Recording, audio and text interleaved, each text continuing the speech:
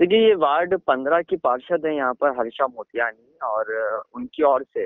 वहाँ पे जो कॉलोनी में जो आशा है गरीब लोग हैं उनके पास खाना पहुँचाया गया था।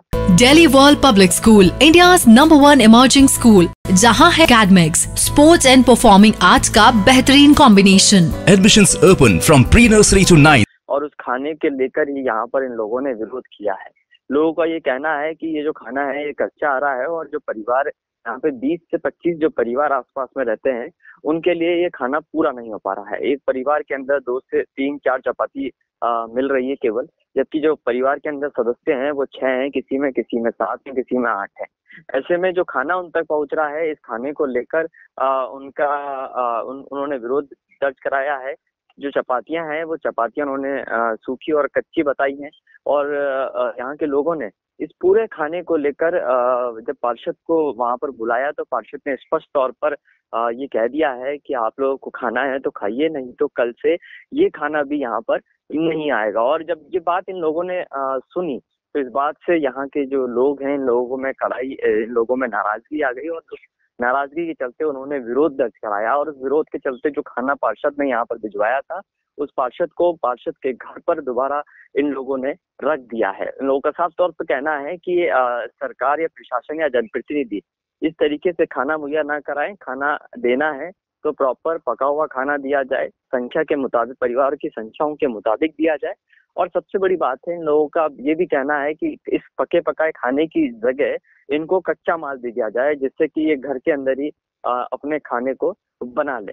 अभी तक सरकार ये कहती आई है कि राशन की प्रॉपर व्यवस्था की जा रही है, लेकिन लोगों के पास अभी राशन की व्यवस्था भी नहीं है। ऐसे में इन लोगों का ये कहना है कि जो राशन की व्यवस्था अभी तक शुरू नहीं हो पाई है और राशन इन लोगों तक जो पहुँचना चाहिए था, वो राशन की व्यवस्था कैसे भी हो जाए, जिससे कि जो कच्चा माल है, खाना बनाने का जो सामान है, वो इन लोगों तक पहुँच जाए और अपने घर की ज़रूरत जितनी भी है उसकी ये पूर्ति ये खुद कर पाए।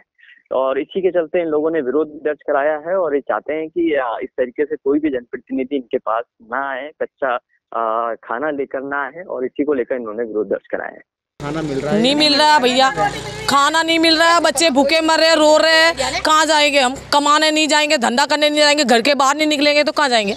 अब बच्चे को पूरा खाना नहीं मिल रहा है दो आधी आधी रोटी भी पूरी नहीं पड़ती हमारी। तो आपके पार्षद आया था? आया था अभी आके गया। पार्सल बोला कि ये खाना लो और खाओ नहीं खाओ तो भले कल से नहीं मिलेगा।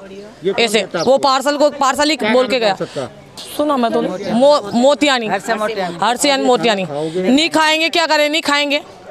भूखे भूखे मरेंगे भूख हड़ताल कर देंगे क्या करें फिर? कितने दिन तक रोंगे। जितने दिन मालिक रखेगा भगवान रखेगा जब तक रहेंगे। नहीं रखेगा हाँ। आपको पार्षद क्या कह रहा हाँ? हाँ पार्षद क्या कह रहा है पार्सल क्या कह रहा है? यही बोल के धमकी दिखा के चला गया बस।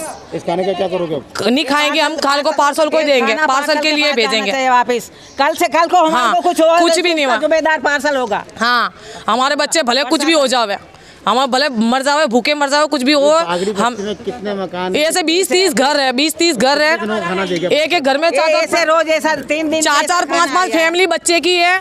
और ये बच्चे दो दो तीन तीन रोटी पकड़ा दे। टाइम दिन से आए हाँ दो दो तीन तीन रोटी मिलती है अब दो दो तीन तीन रोटी में एक कटोरी में दाल मिलती है अभी इतने में आधी आधी रोटी कैसे बच्चों को बड़े तो भले भूखे मर जाएँगे और बड़े भी तो बड़े तो मुँह में नहीं डाल रहे उसके पहले बच्चे खाई खा जाएँगे। आप क्या भूखे कहना चाहते हो प्रशासन? अब पार्सल को बोल रहे हैं कि पूरा खाना भेजो। खाना हमारे को कच्चा खाना। चाहिए सीधा। और इसमें लड़ाई भी नहीं हो झगड़े भी नहीं हो लाइन भी नहीं लागो कुछ भी नहीं लागो आप, आप आपके घर में खाना भेजो कच्चा। कौन सी बस्ती है? ये कुमार बस्ती है। हमारे बस्ती के आगे बागरी हाँ बागरी है।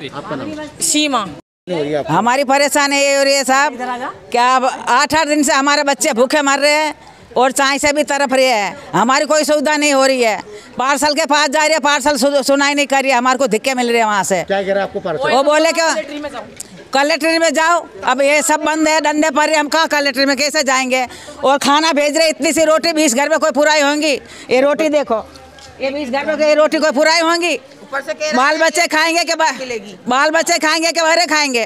और आज आके ऐसी धमकी दे के गया कल से मैं ये भी नहीं भेजूँगा। तो। ये पार्सल ने बोला। कौन है पार्षद आपके? नाम देखा देखा मोटियानी हर्ष मोटियानी हर्ष से मोटियानी तो ये खाना उसी के घर वापस जाना चाहिए।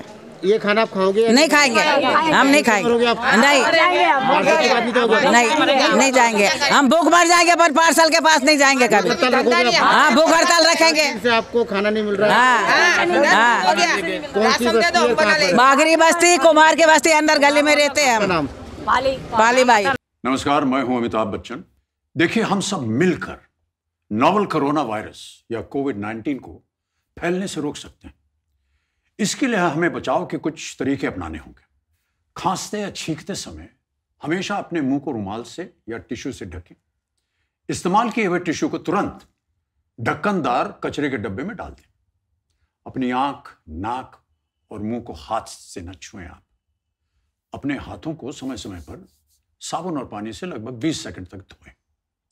भीड़ भाड़ वाली जगह पर जाने से बचें। अगर आपको खांसी, बुखार या सांस लेने में तकलीफ़ हो रही है तो आप दूसरों से दूरी बनाए रखें। ऐसे लक्षण दिखने पर तुरंत तुरंत अपने डॉक्टर से सलाह लें। अस्पताल में आप अपने मुँह पर मास्क या रुमाल ज़रूर रखें। अधिक जानकारी के लिए स्वास्थ्य एवं परिवार कल्याण मंत्रालय की एक हेल्पलाइन है शून्य एक एक दो तीन नौ सात आठ शून्य चार छ अपनी सुरक्षा के लिए हमारी मदद कीजिए।